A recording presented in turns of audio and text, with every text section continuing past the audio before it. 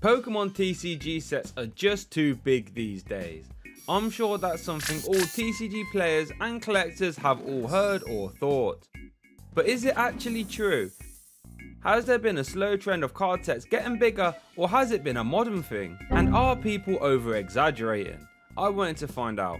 So this is a graph of all the main Pokemon card sets. As we go up the graph, the number of cards that was in that set increases. So at the bottom we have sets like Jungle, Fossil and Neo Revelation and many other older sets. As we start to creep to the right we start to see some of the gym sets. The EX sets start to set a precedent where sets would have 100 cards or so. And this lasted up until the Diamond and Pearl era where it started to creep upwards, getting slowly towards the 130 cards a set mark. But this was balanced with a few sets like Majestic Dawn still having the old norm of around 100 cards a set but we can still start to see a little trend here. As we started to get to black and white and X and Y, it started to trend upwards a tiny bit, but there were some massive discrepancies like Primal Clash and Breakthrough. But then, oh boy, it starts to get silly because from Sun and Moon onwards is when it starts to get out of control. Just look at this now. this sharp trend upwards is pretty insane. With sets in the Sun and Moon era and Sword and Shield having around 200 cards a set or so average pretty much double what sets used to have back in the day. And that's not even including secret rares. But luckily Scarlet and Violet won't have any rainbow rares so that should make it easier to collect and play. But for now sets are obscenely large. Almost as obscene as how big Pokemon TCG events are getting these days. Back in 2014 the average event attendance was 328 Masters and to be honest, that's heavily skewed due to Limitless only tracking Nationals back then, and the US National was around 900 Masters, while the EU ones were hovering around the mid 100s. But just stick with me here. 2015 averaged 329, an increase of one Master per event. And in 2016, it was 379. And to be fair, from 2016 to 2019, the average stayed around the same. And that was until 2020, where the few events that did still run were ravaged by people who couldn't travel due to airline restrictions. And this led to an average of 269. And after that we had no IRL Pokemon for two years. But then when we were given events again in 2022, the average master attendance shot up all the way to 614. And that's even with some of the EU events like EUIC being heavily restricted still. And it gets better because then if you was to isolate the regionals after the last World Championships, the average Masters attendance shoots up to 821.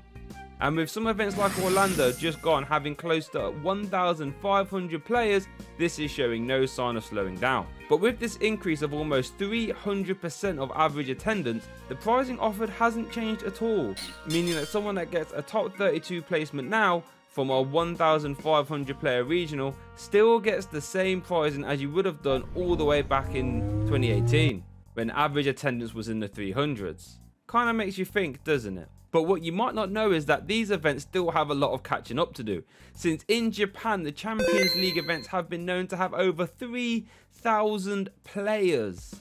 Imagine winning one of them. The biggest events we have over here are the internationals. There are four of these in the season and these offer the most amount of prizing and CP2. These are very prestigious with one happening in each region each year. EUIC, OCIC, LAIC and NAIC. As of recording, we have had 17 international championships so far. But what trends or patterns can we see from the winners of these prestigious events? Well, I took a look at all the previous international winners and ran the numbers. And there were some fun conclusions. What have I told you? There is a 47% chance of an international championship being won by one of three people. Yep, that's right. Before you even step foot in the arena, it's almost a 50-50 chance that we already know who the winner will be. But who are these three people? well, Gustavo Wada and Stéphane Ivanoff both have already won two ICs already. The third person is Tord Reklev, who has a silly four international wins already, one in each region. Not only that, but Tord actually has a 25% chance to win the IC himself, one man against the world, and he wins 25% of the time. And the other 25% of the time, his two mates win. Just think how much money they've earned playing Pokemon. That's right, everyone's favourite prize, money, especially when you earn it by playing Pokemon cards. But what card has earned the player base the most money? Or what card has cost Pokemon the most money? Well, here's a graph of some of the main archetypes I could find this data on. What card do you think is going to be at the top? Towards the bottom we have Leafeon VMAX, Lost March and Metagross GX. All great cards, but didn't earn the most money. As we get towards the middle we see cards like Rayquaza, Baby Buzz, Guardian and Rapid Strike Urshifu. Don't forget some of these cards haven't rotated out yet so they still have time to earn more. As we start to get towards the upper echelons we have cards like Reshizard, Psychic Recharge Malamar, Mewtwo and Mew Tag Team and even Mew VMAX itself which is crazy to think about when you consider Mew still has a lot of format left to earn more money, and it will still be pretty good. But the top 6 seem to be in a class of their own. Pikarom and Garbodor are seen here, as well as Buzzwole GX. But $50,000 higher than all of them is Arceus V-Star. Who would have said that Arceus V-Star would be the second highest earning card of all time? There is one card higher than Arceus, and let me tell you, it's not even close. Can you guess what it is yet? Leave it in the comments. Okay, let's have a look. Zoroark with an extra $200,000 over Arceus 2. Do you think any card will catch it? I'm not sure. One format you can't play Zoroark in though is GLC, a format made by Andrew Mahone. It looks to make use of older, less powerful cards with a ban list and rule set to support it. For example, you can only play one copy of each card and there can't be any rule boxes as well. And when you consider that this format was made by one person, Andrew, he has done an extremely good job at marketing it and getting it out to the masses. I see GLC played all the time.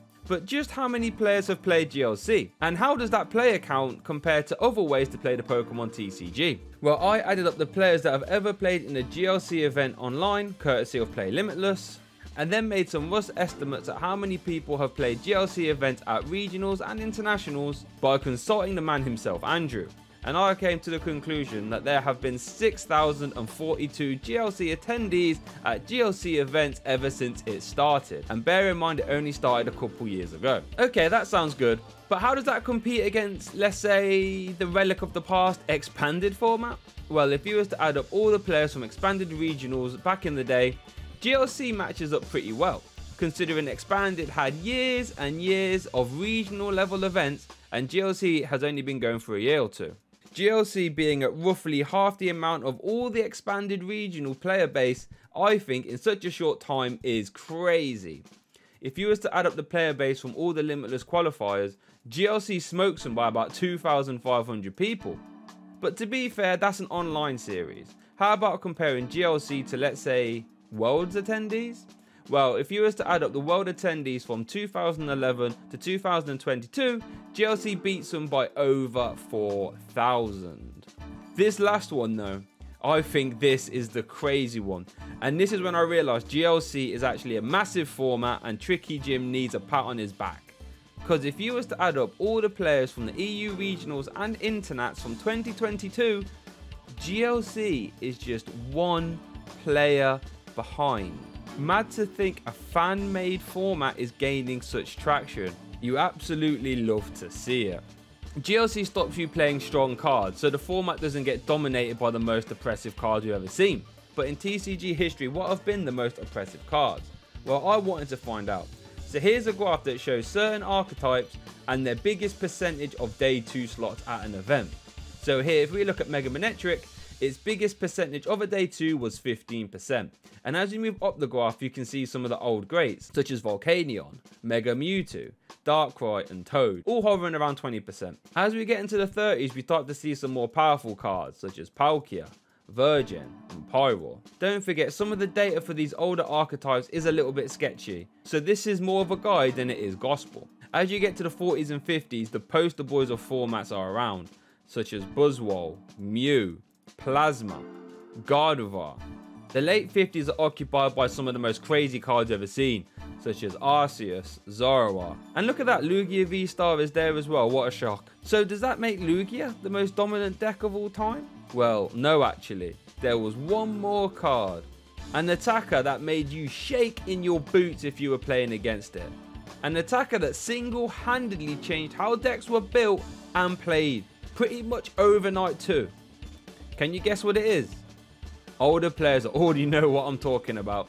Yep, that's right. If we move up the graph, you can see Trashalanche Garbodor really giving people the business in Seattle with a 75% mark in day two. Absolutely crazy. But let's have a little bit of fun with this last one. What is the waifu tax? The idea that trading cards or products are often more expensive if they depict a female on them. If you are familiar with the Charizard tax, then this is a very similar idea. But it's very easy to prove if the Charizard tax is real. I mean, look how expensive these bad boys are. But there isn't any concrete data on the waifu tax, at least in Pokemon, just anecdotal evidence.